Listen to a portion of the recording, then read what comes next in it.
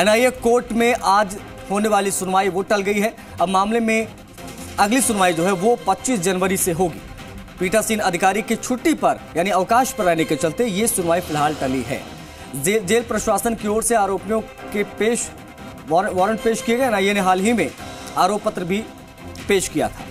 तो इस पूरे मामले में अपडेट ये है कि जो सुनवाई होनी थी वो सुनवाई फ़िलहाल के लिए टल गई है।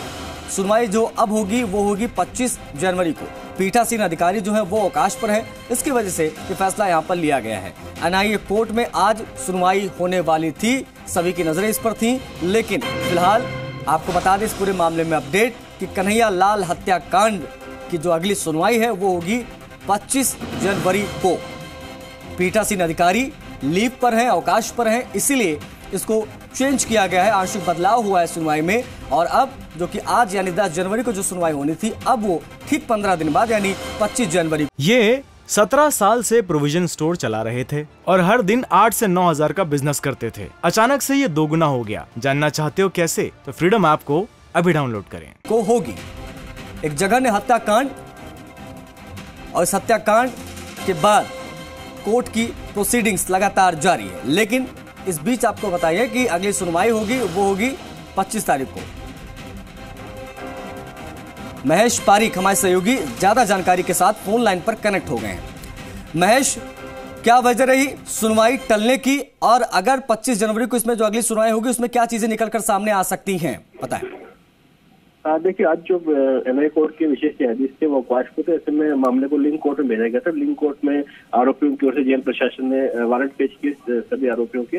कोर्ट ने वारंट को एक्सेप्ट करते हुए नेगेटिव दी पच्चीस जनवरी को ये तारीख दी है।